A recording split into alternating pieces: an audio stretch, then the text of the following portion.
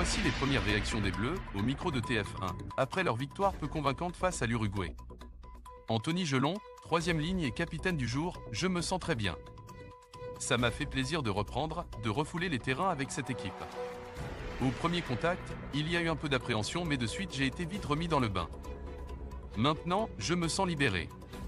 Le staff m'a fait confiance depuis le début. Tout le monde m'a suivi, les kinés. Je remercie tout le monde de m'avoir fait revenir aussi vite.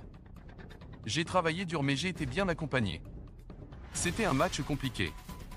Ils ont eu beaucoup d'envie et d'agressivité. Ce soir, on va retenir la victoire. On va essayer de régler quelques petits détails pour faire un gros match contre la Namibie. Cameron Woki, deuxième ligne, il y a beaucoup de frustration. On aurait aimé faire une autre prestation. On a été face à une équipe avec énormément d'envie. Il fallait juste les respecter. On n'a pas su mettre notre jeu en place, que ce soit en mêlée ou dans le jeu. On a pêché en mêlée alors qu'on savait qu'on dominait. Il faut y remédier, travailler là-dessus et être plus patient la prochaine fois. 15 pénalités, c'est énorme. C'est inadmissible au niveau international. C'est une chance d'avoir gagné ce match avec 15 pénalités. Je pensais qu'on avait fait un gros travail sur la discipline. On aurait aimé montrer autre chose. Or, on a montré qu'on était une équipe indisciplinée. Il n'y a aucun match facile. On est dans une Coupe du Monde. Tout le monde joue les matchs à fond et on devrait faire de même.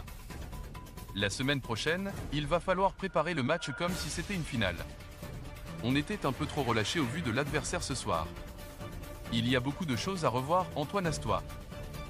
Demi d'ouverture, on n'a pas su répondre à l'agressivité, au combat qu'ils nous ont opposé. Quand on pouvait marquer, on ne l'a pas fait. Ils sont restés vaillants. Ils ont bien joué au ballon et on a encaissé des points. On sort frustré parce qu'on voulait bien jouer collectivement. À la mi-temps, on s'est dit qu'il fallait continuer avec notre plan de jouer et être beaucoup plus discipliné. On n'a pas réussi à le faire. Il y a beaucoup de choses à revoir. On va retenir la victoire et retourner au boulot. C'est une Coupe du Monde, on sait comment c'est. Il va falloir être meilleur.